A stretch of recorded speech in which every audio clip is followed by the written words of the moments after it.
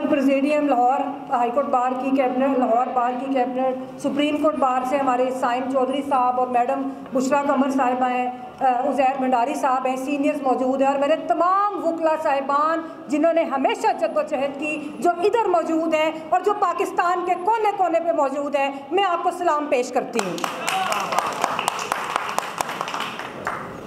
आपको याद होगा कि एक या दो हाउस पहले हमने इनको वार्न किया था कि अगर तुम्हारा यूनिफॉर्म है तो हमारा भी यूनिफॉर्म है। मेरा इनसे सवाल है कि इन्होंने पाकिस्तान के अंदर जिस तरह वकला को दबाने की, उनकी आवाज़ दबाने की कोशिश की, उसके बाद उन्होंने जिस तरह ख़वातीन वकला के साथ नारवा सलूक किया, फिर उसके बाद ये नहीं रुके और ये हमारे सीनियर्स जनाब सरदार लतीफ़ खोसा साहब, जो लेजेंड है बार के अजैर भंडारी साहब, इंतहाई काबिल एहतराम वकील और हमारे बाकी वकला, जब ये अब हमारे इनके घरों तक पहुँचे हैं तो मैं इनसे ये सवाल करती हूँ कि क्या वजह है? क्या इन्होंने मुल्क तोड़ा?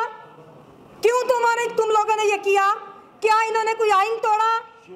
क्या इन्होंने मुल्क के वसाइल पे कब्जा किया? क्यों तुम वकला तक पहुँचे?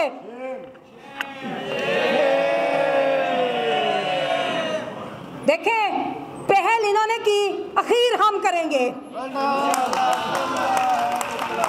आपको याद होगा, आपको याद होगा कि जब वकला तहरीक थी तो वकला तहरीक एक दुनिया की वर्किंग क्लास की पहली कामयाब जदोजहद थी कि जो पुरमन थी और उसको उसके मतलूबा नतज मिले।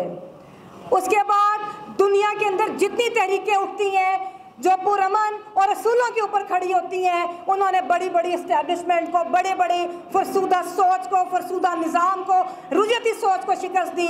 अमेरिका की सिविल राइट्स मूवमेंट का आपको पता है कि जिसने अमेरिका का नक्शा बदल दिया। उसके बाद अब ये मूवमेंट चलेगी कि ये मूवमेंट एक फैसला कुल मूवमेंट होगी? उसमें यह फैसला होगा कि क्या इस मुल्क के अंदर तुम्हारी आमरीत रहनी है तुम्हारी बंदूकें रहनी है या यहाँ पर सिविलियन सुपरवेसी होगी या यहाँ पर आइन की बालादस्ती होगी।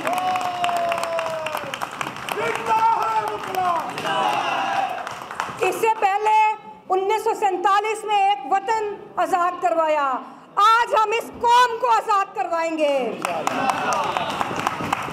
हम ये आज़ादी छीन के लेंगे। मेरे वकला नारा लगाएँगे। छीन के लेंगे। हम छीन के लेंगे। जर्नेलों से लेंगे। हम लेके रहेंगे। हम लेके रहेंगे।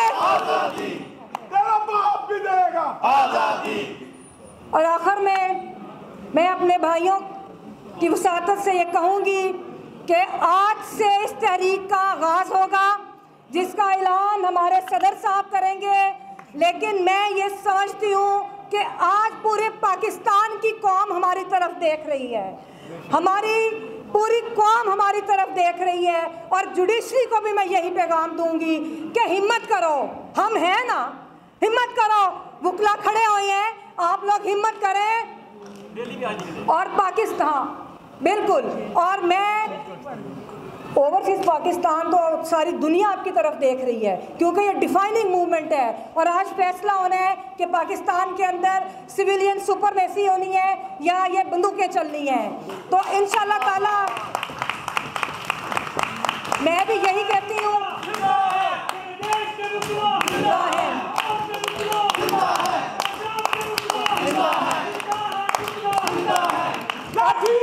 की सरकार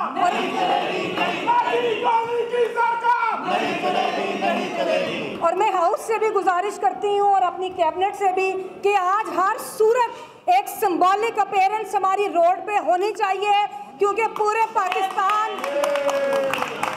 हमारी कौम हमारी तरफ़ देख रही है हमारे वकला पाकिस्तान भर से हमारी तरफ़ देख रहे हैं। और अब हम लोगों ने आइन की बालादस्ती और सिविलियन सुपरमेसी के लिए सिंबॉलिक ही हमें आज रोड के ऊपर जाना चाहिए। बहुत शुक्रिया।